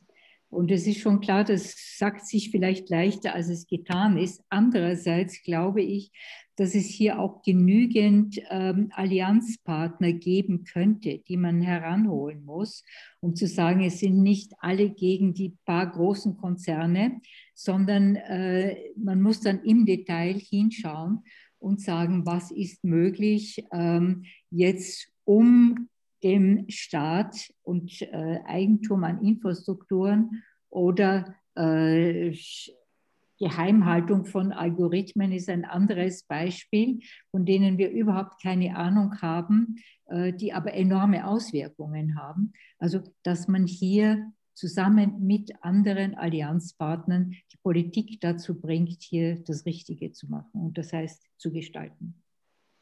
Nachdem jetzt die Politik äh, mehrfach angesprochen wurde, ich könnte mir vorstellen, dass es von dieser Zuschauerin eine rhetorische Frage ist, aber ich, ich, ich äh, stelle sie jetzt trotzdem, weil es auch wieder einen Bezug hat äh, zu dem Wiener Manifest und dessen Ableitungen. In dem Manifest heißt es laut der Zuschauerin, es geht um die Mitgestaltung der Politik mittels Expertise. Die Frage, kann die Politik ohne Expertise überhaupt funktionieren?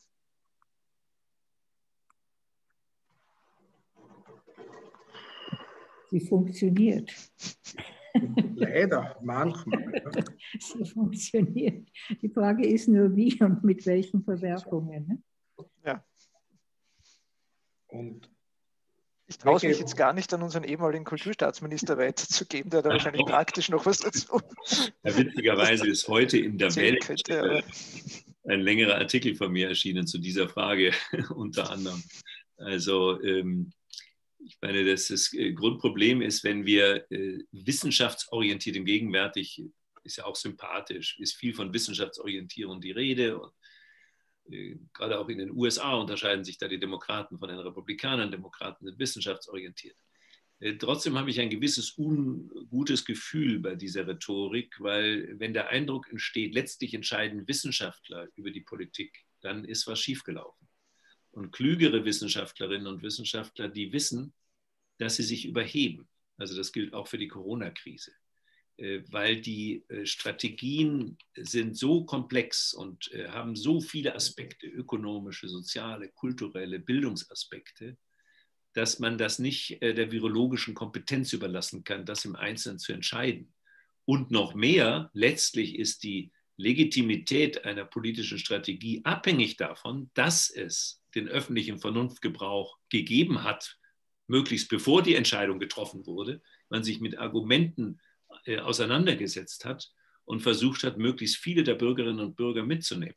Deswegen plädiere ich immer dafür, die Wissenschaft hat eine Bringschuld. Sie hat nicht die Kompetenz zu sagen, was zu tun ist. Also sie hat eine Bringschuld, ihre Ergebnisse, meistens ja sehr disziplinär begrenzte Ergebnisse, ja, Manche Wissenschaftler denken, ich bin da gut und dann kann ich zu allem Stellung nehmen. Nein, als Wissenschaftler sprechen wir für einen bestimmten Bereich, für den wir Kompetenz haben. Und den dann einzubringen, so dass es verständlich ist, nicht in einem Jargon, der schon von vornherein aus, äh, raushält und abgrenzt. Und dann ist es aber nicht mehr Sache der Wissenschaft zu bestimmen, was das für Implikationen hat für die Praxis, sondern das ist dann gesamtgesellschaftlich und politisch die Aufgabe. Es, es, es, es ist noch ein, ein zweiter Aspekt. Die Wissenschaft kann nicht die Wahrheit. Also wir, wir, wir arbeiten mit Unsicherheiten, wir arbeiten mit Voraussetzungen, sagen unter den und den Bedingungen könnte das und das sein. Also das ist immer was, was mit einer Wahrscheinlichkeit ist. Und ich glaube, die Politik will eine Sicherheit und die Wissenschaft schafft Unsicherheit. Also eigentlich hinterfragen wir und bei jeder, jeder Antwort, die wir liefern, äh, werfen wir weitere Fragen auf. Aber das gesagt habend ist schon wichtig, dass man zumindest dort, wo Fakten klar sind und wo man sie zumindest argumentieren kann, dass man die auch in die jeweilige Auseinandersetzung einbringt. Okay, ich hätte jetzt noch äh, vier Fragen, wobei ich zwei wieder zusammenfassen würde, da sie sehr ähnlich sind. Äh, eine ist noch an die Frau Weidenfeld. Sie beschreiben ja in dem Buch Visionen euphorisch, apokalyptisch anhand von Hollywood-Produktionen und anderen Produktionen. Äh, Gibt es überhaupt eine Möglichkeit, diese beiden Visionen irgendwie in Einklang zu bringen? Hm. Schwer, also ich meine, das sind zwei äh, Seiten der gleichen Medaille. Da sind wir wieder bei dieser ideologischen Überhöhung. Das, ähm, ähm, das, ähm, ja, ich bleibe bei meinem Punkt von vorhin, das äh, sollte uns nicht ablenken. Ja. Wir sollten sie für das lesen, was, was, sie, ähm, was sie sind. Ja. Da werden andere Dinge abgearbeitet. Ähm, und wir müssen uns auf das äh, konzentrieren, wovon wir hier die Rede war, das Politische. Ja. Also es sind wunderbare, es sind ja tolle Filme, dieses utopische, dystopische. Äh, das kann man ja mit Freud lesen oder mit wem auch immer, aber da geht es um andere Dinge als die, die uns jetzt interessieren sollten. Dann nehme ich gleich noch eine Frage, die wir schon äh, per Mail bekommen haben. Äh, und zwar schreibt uns ein Zuschauer, äh, wir sehen die Tendenz hin zu einem neuen äh, Taylorismus 2.0. Äh, was bedeutet die Anwendung der industriellen Logik auf die Dienstleistung und dabei im Speziellen auf die Denkarbeit, also das Denken? Was bedeutet es, wenn unsere Denkarbeit wie die Produktion eines Sachguts behandelt wird? Äh, wenn wir im Takt denken müssen, wenn immer mehr und immer genauer gemessen wird, was macht das mit einem Menschen? Also das entfremdet den Menschen vom jeweiligen Denken und ich bezweifle, dass das wirkliche Denken so messbar und so abschätzbar ist. Ich glaube, dass es sehr wohl Tendenzen gibt äh, im Bereich der Kopfarbeit, wo man klassifizieren kann, was könnte man automatisieren und welche Dinge könnte man durch, einen, durch, durch, durch eine Maschine ersetzen. Aber letztendlich äh, zeichnet sie ja das Menschliche. Und da gibt es sicherlich Bereiche, wo man repetitive Aufgaben, einfachere Aufgaben ersetzen könnte. Aber letztendlich zeichnen, zeichnet sie ja das menschliche Denken ganz im Sinn des, des Humanismus auch, dass wir eigenständig reflektierend Gesamtsichten entwickeln. Und diese Dinge, glaube ich, diese, diese Dinge kann man nicht ersetzen. Also ohne, ohne, ja. ohne, uns da jetzt auf eine sehr spekulative Zukunft der Arbeit äh, einzulassen, ähm, niemand weiß, ob genügend neue Arbeitsplätze rechtzeitig entstehen werden. Alle sind sich einig, es wird neue Arbeitsplätze geben, nur man weiß nicht, kommt das rechtzeitig, sodass es Übergänge gibt oder, oder nicht. Aber ich würde nicht von Taylorismus sprechen, sondern es sind neue Formen auch der, des, der Zusammenarbeit oder des Nebeneinanders oder neue Arbeitsteilungen imstande. Was macht die Maschine, was macht der Mensch? Äh, wenn ich äh, jetzt im diagnostischen Verfahren ähm, die Möglichkeit habe, dass die Maschine genauer ist, als äh, das menschliche Experten sind, dann verwende ich die Maschine, aber ich brauche immer noch den Mensch zum Schluss, um einen Blick drauf zu werfen und es nicht nur der Maschine zu überlassen. Also das stellt auch höhere Anforderungen dann an den Menschen, der dann entscheiden muss, so in dem Fall glaube ich der Maschine und ist das in Ordnung oder ist das einer dieser Fälle, wo ich sagen muss, nein, also die Maschine kann sich auch irren. Und insofern entwickeln wir ja unsere Denkfähigkeit auch weiter. Als äh, die ersten äh, Schachspiele mit der Maschine zugunsten der Maschine ausgegangen sind, also des Algorithmus ausgegangen sind, hat man gesagt, das ist das Ende des Schachspiels. Davon ist keine Rede. Im Gegenteil, man hat gesehen, äh, ich kann jetzt diese schachspielenden Algorithmen auch als Training benutzen, um meine eigene Fähigkeit, äh, also sind nicht nur die Großmeister, die das ab dem fünften Lebensjahr machen, sondern andere Menschen, die einfach Freude an dem Spiel haben und die können dadurch ihre kognitiven Fähigkeiten steigern. Also das sollte man auch nicht übersehen. Die Maschinen fordern auch unsere Denkfähigkeit heraus und steigern sie teilweise. Dann habe ich äh, zwei Fragen zur, zur Beschleunigung, äh, zur digitalen Beschleunigung, die ich auch gerne äh, zusammenfassen würde. Äh, und zwar das eine ist, äh, wie soll äh, das Reflexionsvermögen gefördert werden, insbesondere bei jungen Menschen an Schulen, Stichwort Leistungsdruck, Konkurrenzdenken, aber auch Überforderung mit der digitalen Beschleunigung. Und die zweite Frage ist, von einem anderen Zuschauer. Ähm, ist es denn nicht schon längst so, dass IT-Plattformen als öffentliches Gut zu etablieren der einzige Weg wären, den wir als Gesellschaft gehen könnten, um die Oberhand zu behalten? Wer möchte dazu? Bitte, Herr. Also, wenn es recht ist, sage ich dazu noch was. Ja, Zumindest ja. der ersten Frage fühle ich mich ein bisschen zuständig. Also, es ist in der Tat so, da gibt es auch ganz interessante empirische Studien, dass die Älteren, also sagen wir mal die sogenannte Boom-Geburten, äh, Boom-Jahrgänge, äh, dass die äh, sich sehr viel schwerer tun, sagen wir mal, mit diesen technologischen Angeboten spielerisch und schnell umzugehen. Sie sind jetzt gewisserweise eine andere Technologie gewöhnt, bei der man genau weiß, was, auf was man tut. Das Ausprobieren, mal dies, mal jenes Ausprobieren, ist ihnen fremd und deswegen tun sie sich manchmal schwer. Und jetzt kommt das Überraschende dass also die Millennials, wie sie manchmal genannt werden, von sich selber häufiger sagen, dass sie ineffektiv äh, mit den äh, verschiedenen Angeboten umgehen, zum Beispiel bei Informationsbeschaffung, weil sie sich verlieren. Äh, und Untersuchungen zeigen, dass die Älteren oft effektiver umgehen, obwohl sie langsamer sind, effektiver.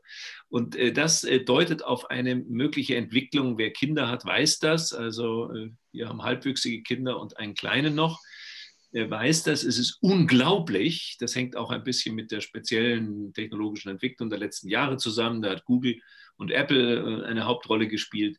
Äh, das ist alles so intuitiv, dass man nicht mehr viel wissen muss. Ja? Man kann es einfach. Man muss es spielerisch sich aneignen und das funktioniert super. Äh, auf der anderen Seite aber ist die Aufmerksamkeitsspanne verkürzt und das Springen von sozusagen äh, dem einen oder dem anderen, was gerade ins Auge fällt, äh, ist äh, extrem beschleunigt und die Zusammenhänge drohen dabei verloren zu gehen. Und da muss, glaube ich, das Bildungssystem unbedingt gegensteuern äh, und auch mal Distanz gewinnen und sagen, ja, Moment, jetzt waren wir bei dem einen Thema, jetzt sind wir bei dem anderen Thema, hängt das irgendwie zusammen oder ist es ein reiner Zufall, dass wir jetzt auf das andere Thema gekommen sind? Also eine gewisse Stringenz, Konzentrationsfähigkeit ist von ganz großer Bedeutung für die Zukunft und das gehört, glaube ich, äh, zur digitalen Bildung äh, ganz wesentlich dazu. Und zu der zweiten Frage würde ich nur sagen, ja, genau. Also ich tendiere dazu zu sagen, ähm, wir brauchen ein bisschen auch ordnungspolitisch Veränderungen. Datenschutzgrundverordnung war ein erster Schritt in die richtige Richtung, hat aber auch vieles erschwert, was wir eigentlich nicht erschwert wissen wollten, zum Beispiel zivilgesellschaftliches Engagement und äh, auch manche Verwendung in der Wissenschaft von Big Data, eigenes Thema. Aber äh, das allein wird meines Erachtens nicht ausreichen. Und ich würde mich freuen, wenn die Europäische Union auf der Grundlage dieser vielen Deklarationen ernst macht mit dem Programm und sagt, wir müssen uns überlegen, ob wir nicht die Rahmenbedingungen in manchen Bereichen neu setzen und damit auch neue ökonomische Entwicklungschancen in Europa öffnen. Der europäische Markt ist groß genug, um sich das zuzutrauen.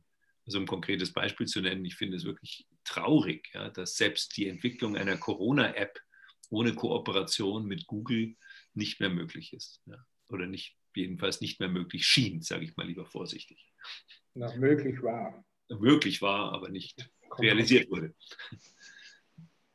Darf ich, darf ich, darf ich, darf ich zwei Punkte? Bitte, bitte. Oder wolltest du was sagen, Helga? Nein, äh, später. Okay, also ich glaube, dass das mit dieser Bildung etwas ist. Äh, wir haben ja im Rahmen unserer, unserer, unserer, unserer Vortragsserie auch so ein, eine Arbeitsgruppe, die sich mit Curricula beschäftigt. Und es ist schon richtig ersichtlich in, an technischen Universitäten, wie stark dort philosophische Fächer und ethische Fächer äh, unterrichtet werden. Also fast an allen technischen Universitäten taucht es auf, kommt weil auch erkannt wird, dass wir dieses unter Anführungszeichen Fachidiotentum und die Silos aufbrechen müssen und auch die entsprechende Kreativität fördern müssen. Also das ist ein ganz, ganz offensichtlicher Zug der Zeit, wo wir ein, eine, eine gesamtheitliche Sicht auf diese, auf diese Disziplinen haben. Bitte. Ja, ich, ich wollte nur sagen, also ähm, ich, mir, mir, ist schon bewusst, also man braucht ja nur mit jungen Leuten äh, sprechen und man sieht, wie schnell, wie, wie kurz die Aufmerksamkeitsspanne geworden ist. Und bei Kindern ist es ein wirkliches Problem.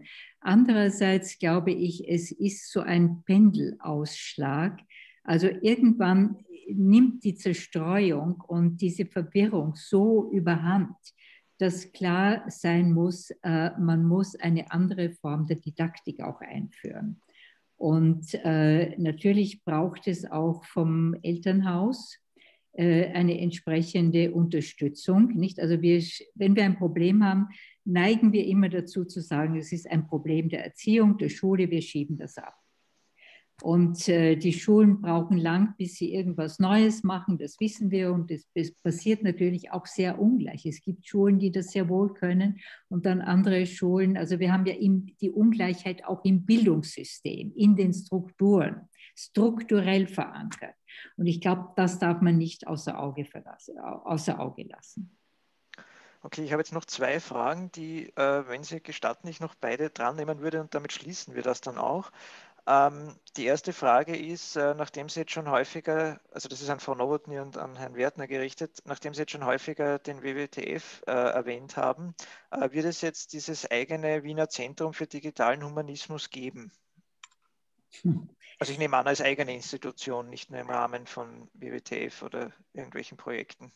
Also ich, ich weiß es nicht, aber ich glaube, was es geben wird, oder ich hoffe sehr, dass es geben wird, ist eine Initiative einer Reihe von Veranstaltungen, äh, die aber nicht nur einmalige Veranstaltungen sein sollen, sondern ein Konzept, äh, das eine mehrere kleine Veranstaltungen hat, die aber auf kontinuierlicher äh, Basis weitermachen, immer mit dem Ziel, wie kann ich aus diesen ganz unterschiedlichen Perspektiven, die wir ja auch heute in vielfacher Weise immer wieder äh, darauf zu sprechen gekommen sind, wie kann ich so eine Gesamtsicht eines digitalen Humanismus, einer digitalen guten Gesellschaft hineinbringen, in diese verstreuten Baustellen, wie ich das genannt habe.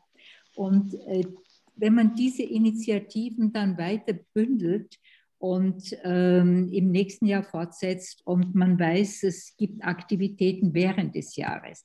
Wäre das so eine Art Gegenentwurf zu einem Zentrum, das halt dann auch wiederum beschränkte Möglichkeiten hat? Also ich glaube, man muss es hineintragen in die Zivilgesellschaft, in die städtische Verwaltung, in Industriebetriebe, in Leute, die damit arbeiten, in die Schulen und so weiter.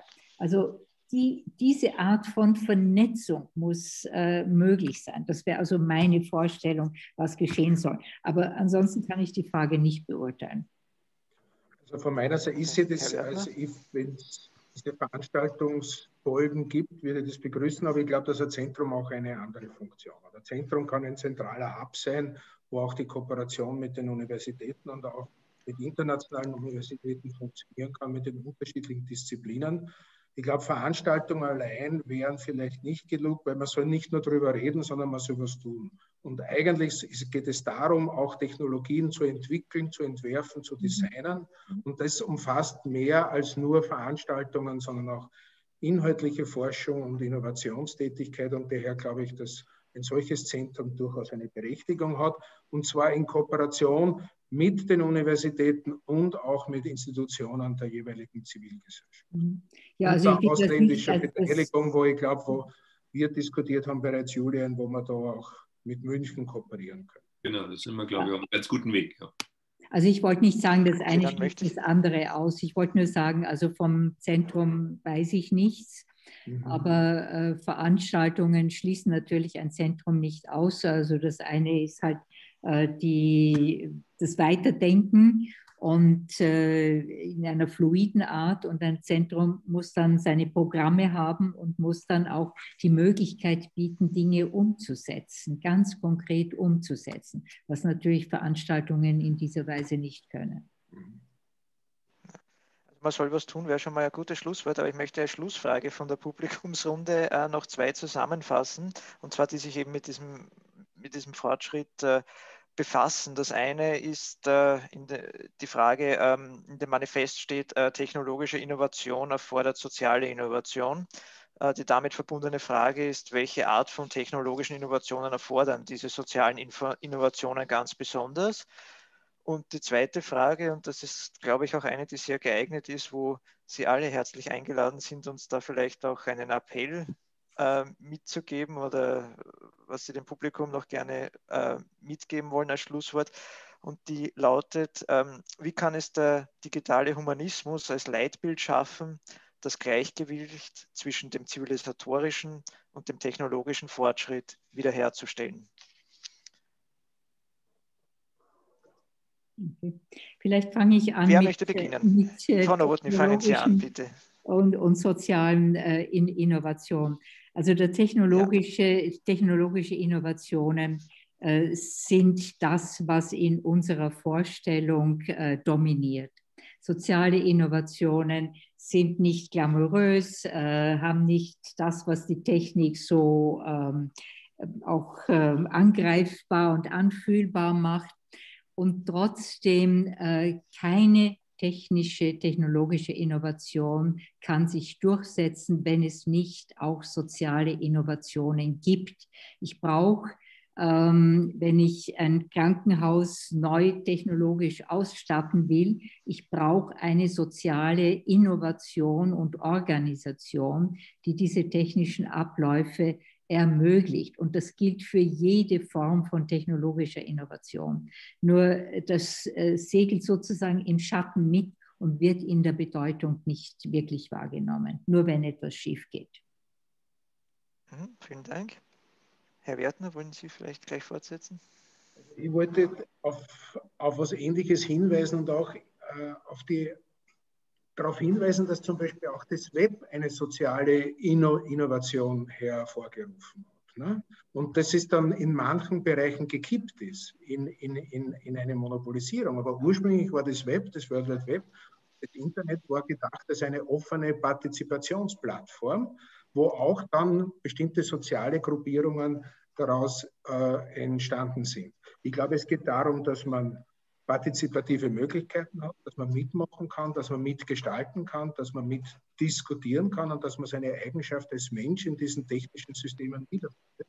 und dass man letztendlich als Mensch diese Techniken auch unter Anführungszeichen beherrscht, in der Hinsicht, dass sie nicht einen beherrschen, sondern dass man eigentlich der oder diejenige ist, die das Steuerrad hier in der Hand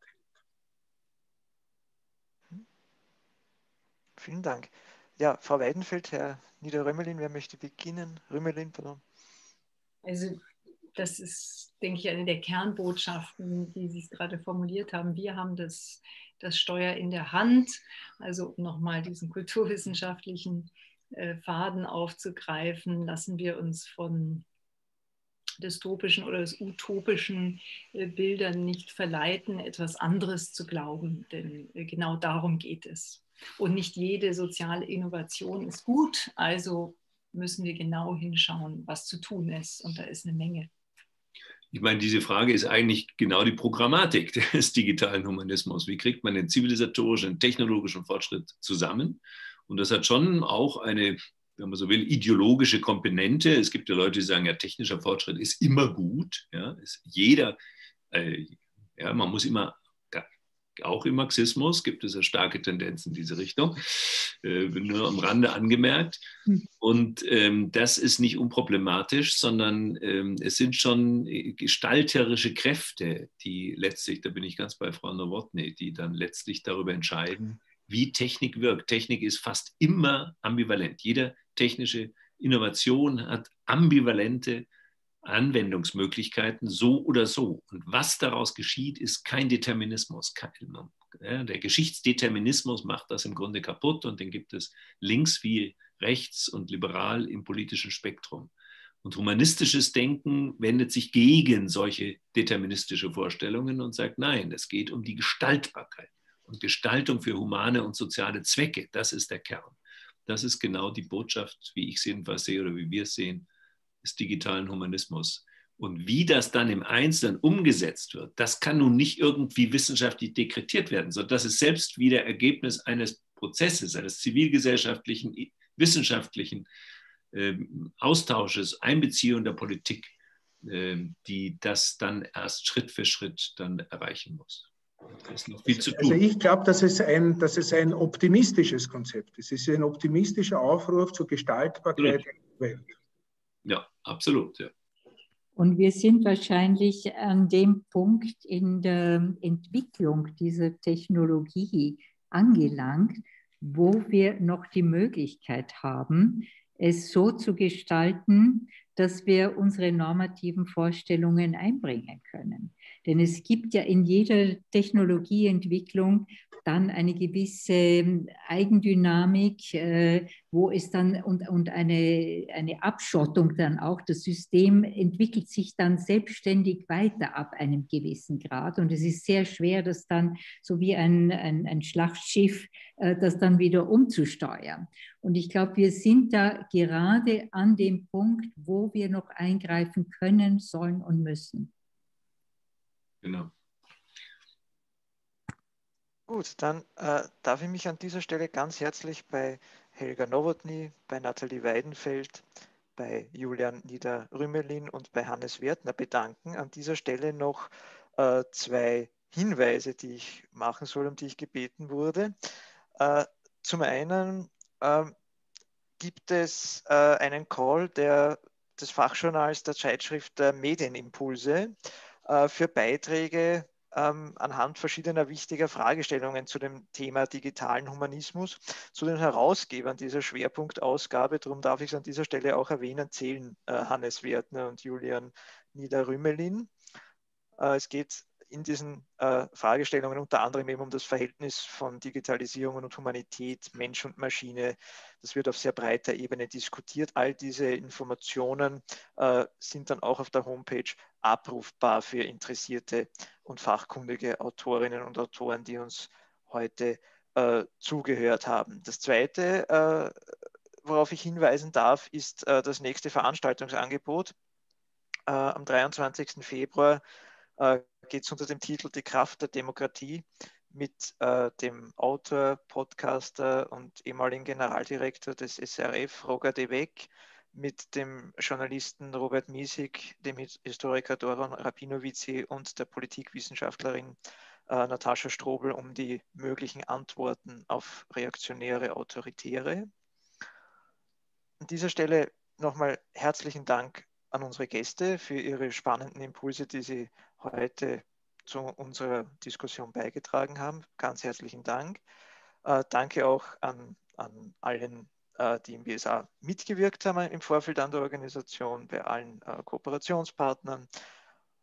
Und ich darf unsere Diskussion äh, schließen mit zwei Gedanken. Einerseits, äh, Timothy Snyder äh, hat zum Thema Digitalisierung einmal geschrieben, äh, wir müssen die Polarisierung abbauen, die das Internet verstärkt. Alle haben zu allem eine Meinung und sprechen nicht mehr miteinander.